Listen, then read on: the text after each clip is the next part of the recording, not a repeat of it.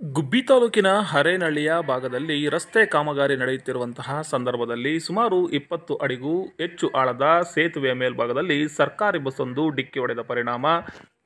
ಸೇತುವೆಗೆ ಹಾನಿಯಾಗಿದ್ದು ಬಸ್ಸಿನಲ್ಲಿದ್ದಂತಹ ಹದಿನೇಳಕ್ಕೂ ಹೆಚ್ಚು ಸಾರ್ವಜನಿಕರಿಗೆ ಯಾವುದೇ ರೀತಿಯ ಸಮಸ್ಯೆ ಆಗಿಲ್ಲ. ಕೆಎಸ್ಆರ್ಟಿಸಿ ಬಸ್ಸು ಬೆಂಗಳೂರಿನಿಂದ ಕಡೂರು ಭಾಗಕ್ಕೆ ತೆರಳುತ್ತಿತ್ತು ಎಂಬ ಮಾಹಿತಿ ಇದ್ದು, ಪೊಲೀಸರು ಸ್ಥಳಕ್ಕೆ ಧಾವಿಸ್, ಧಾವಿಸಿ ಪ್ರಕರಣವನ್ನು ದಾಖಲು ಮಾಡಿಕೊಂಡಿದ್ದಾರೆ.